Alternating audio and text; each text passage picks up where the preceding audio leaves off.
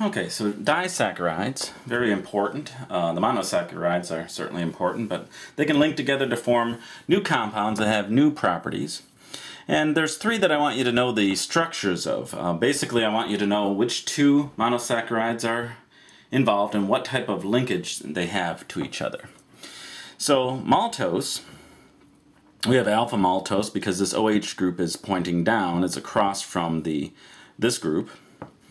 But um, it's alpha D-glucose.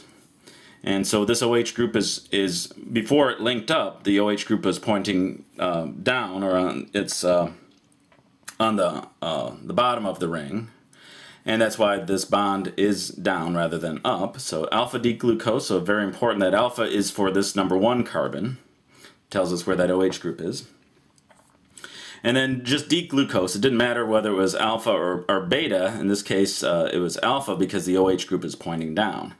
So if it had been a, um, a, uh, a beta D-glucose, this would have been up, and this would have been beta uh, maltose. And there's a because that uh, there's ring openings on this side, this is allowed to shift uh, open up. You can form uh, the beta maltose as well. Now the linkage is an alpha linkage because it, uh, there's no alpha. The alpha beta is over here. That's that's when we talk about alpha beta. It's uh, on this carbon one. So this carbon uh, just has an OH group that linked to it uh, to the other uh, monosaccharide. So it's at site one and four alpha because the OH was moving down. So it's alpha one four linkage. So the two compounds uh, that are two monosaccharides that make the disaccharide and what kind of linkage. For lactose, we have beta D galactose. You can see that OH group is up.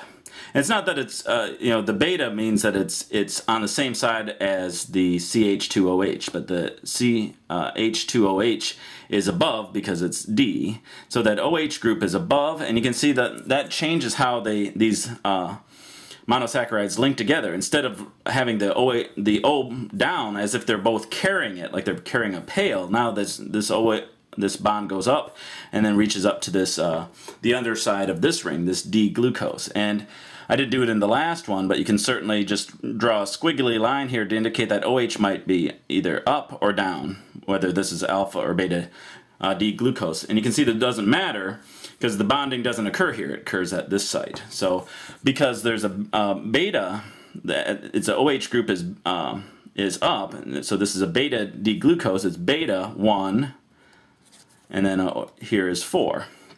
So as opposed to the alpha 1 4 linkage that we saw last time. So it's got to be beta and in parentheses the 1 and uh, 1 goes to 4.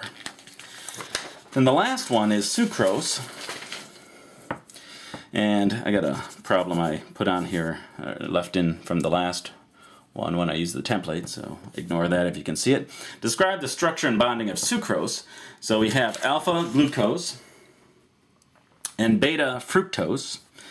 And see, the uh, OH is would on its own it would just be glucose with the OH down, and they don't specify D or L because it doesn't matter here.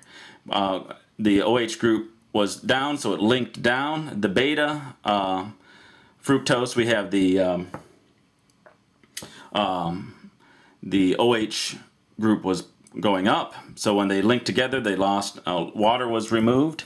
And so we get an alpha from the one, and since it's off of the same, uh, it's off of the carbon on each of these rings that de denotes alpha and beta, then it's alpha for the glucose, beta for the fructose, and it goes from site 1, carbon 1, uh, to uh, this carbon 2. So alpha comma beta 1 to 2. A little more involved, a little strange looking structure compared to the other ones, but uh, those three there give you the three uh, very different types of bonding.